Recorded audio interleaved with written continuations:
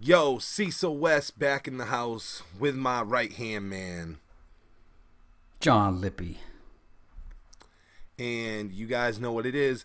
It's the question of the day. I hope you guys checked out yesterday. If not, make sure you guys check out yesterday's question of the day. But today, I, I, I just keep hitting them with the smoking guns.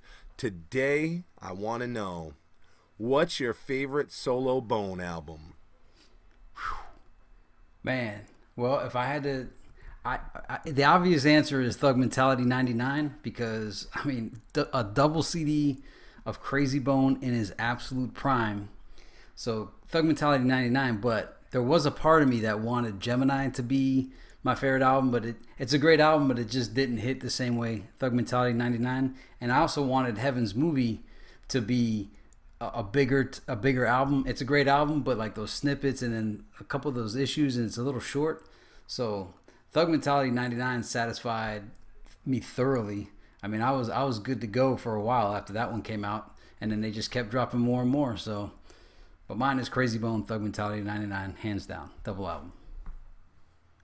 Um, it's it's wild because that's got to be my favorite as well, and and we're looking at the same reasons. I, I will say that I really love the Gemini album, and and I know that it's not the the album you want it to be, but like I fucking I love the Gemini album. There's something about Krayzie's cadences in that one that you know I really enjoy. Um, I really like like the fucking uh, crazy. It, it, reminds me of like Lil Wayne, man. I miss my dogs, except it's Krayzie Bone and uh, it's him talking to all the Bone members.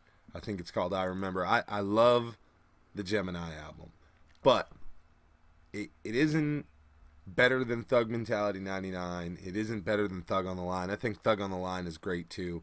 Um, but Thug Mentality takes it and none, none of the other ones like, bro, Heaven's movie is great, but it's it isn't complete. The gift is fucking, you know, the gift is great.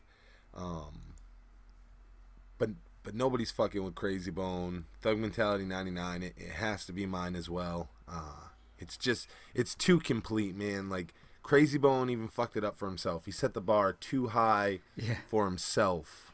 Uh, that's exactly what I was gonna say too. Was I, I like he I got so much from Thug Mentality '99 that I expected a double album every single time, and and like when I got Gemini, I'm like, man, it's just one album because because Thug on the Line was a pretty long album, and I just felt like Gemini was shorter than what I was used to. I was just used to getting just treated to death with with Thug, Thug Mentality '99 and Thug on the Line, and then Gemini was great. I just wished it was like a double album, but I agree. Yeah, and The Gift was a great album as well, and but TM '99 takes the cake. Plus, you got Romeo Antonio producing on that, and you had uh, Steve Lobel driving all those uh, guest appearances. So it had so much going for it. It's, it's probably the, the peak yeah, and looking, I, I guess I've never really realized, but Gemini is a pretty short album. It's less than an hour. It's only 51 minutes, whereas Thug on the Line um, is one hour and 17 minutes. Yeah. So it was a lot for one disc. That motherfucker was packed. That that's a great record too. But Thug Mentality 99. I'm glad to see we can agree on that one. That's what me and Johnny picked for our favorite solo Bone Thugs album. Don't forget to let us know what your favorite Bone Thugs solo album is in the comments below. And do not forget, share this with another Bone fan and subscribe to Beyond the Harmony, beyondtheharmony.com, and we'll check you guys out tomorrow. Beyond the harmony for the fans we celebrate.